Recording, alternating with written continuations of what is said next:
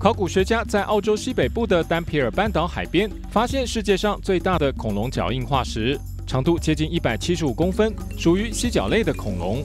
草食性的犀角类恐龙，如迷惑龙、腕龙、梁龙等，是目前陆地上已知出现过的最巨大动物，身躯可长达三十四公尺。除了这个巨大的脚印外，在这块区域还发现了其他共二十个恐龙脚印及六种肉食性恐龙的足迹。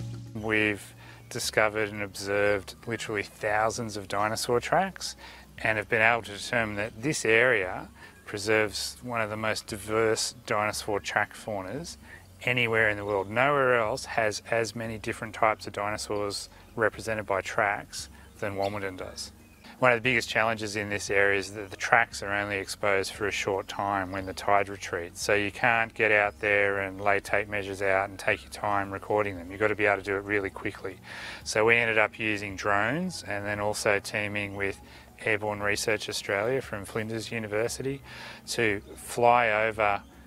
and map the tracks from the air um, digitally and also with laser scanners as well. 这块区域所发现的恐龙足迹化石，距今约有一亿三千万年到一亿四千万年，比在澳洲其他区域发现的恐龙化石存在的时间更加久远。考古学家下一步的研究重点是利用这些数位档案，解开这块区域生活着哪些不同种类的恐龙及它们如何互动和生活在一起。